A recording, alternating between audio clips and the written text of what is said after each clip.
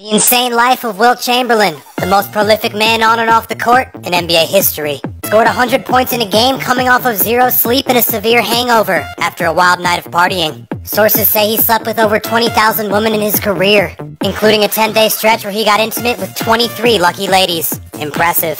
Was close friends with Arnold Schwarzenegger, who claimed Wilt was the strongest man he'd ever seen. He could allegedly lift up Andre the Giant with just one hand. Almost fought Muhammad Ali for the heavyweight title of the world. Take that, Jake Paul. He won three Big 12 track and field championships without practicing once. Was also inducted into the Volleyball Hall of Fame. It's the biggest mismatch I've ever seen. He was a certified insomniac, had a 50 inch vertical at over 7 feet tall. This man was a freak. He sat out only 9 minutes the entire 1962 season.